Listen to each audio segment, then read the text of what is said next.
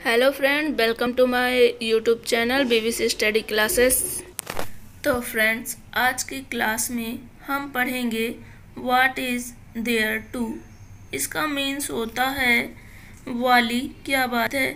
जैसे हम कभी किसी से कुछ बात कहते हैं, या हंसने लगे कुछ बात हो जाए तो हम अचानक से कह देते हैं, इसमें हंसने वाली क्या बात है? तो फ्रेंड्स, कुछ ऐसे ही सेंटेंस आज की क्लास में हम लोग सीखेंगे।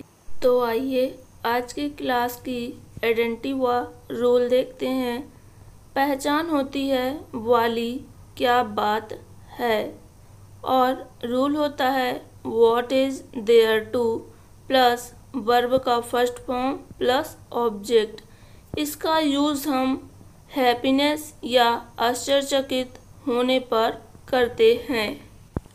तो आइए कुछ एग्ज़ाम्पल के माध्यम से समझते हैं। जैसे, इसमें हंसने वाली क्या बात है?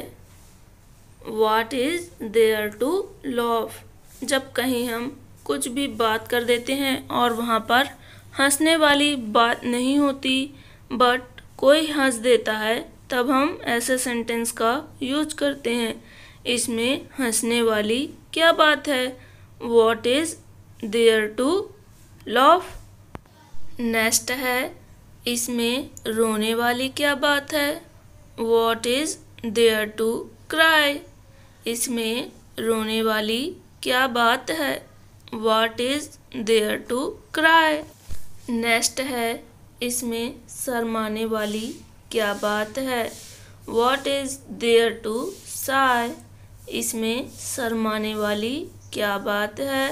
What is there to shy next है, इसमें बताने वाली क्या बात थी?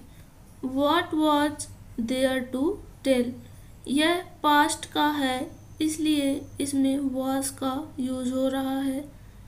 तो इसमें बताने वाली क्या बात थी? What was there to tell next है।